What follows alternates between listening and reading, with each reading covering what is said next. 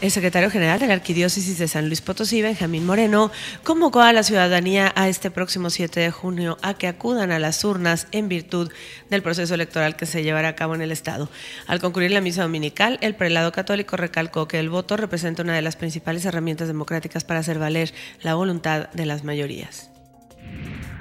La Dirección General de Seguridad Pública Municipal se reporta preparada para poner en marcha el operativo Elecciones 2015, en el cual participarán un total de 550 efectivos de la corporación, con el objetivo de brindar seguridad a los ciudadanos que acudan a las urnas de votación el próximo 7 de junio. El operativo de la Dirección General de Seguridad Pública Municipal está diseñado para que los ciudadanos puedan acudir de manera segura a la totalidad de las casillas que habrán de instalarse en todo el municipio capitalino para brindar seguridad a quienes fungen como funcionarios de casilla, así como la ciudadanía en general, además de facilitar el tránsito de peatones, vehículos y usuarios en la vía pública.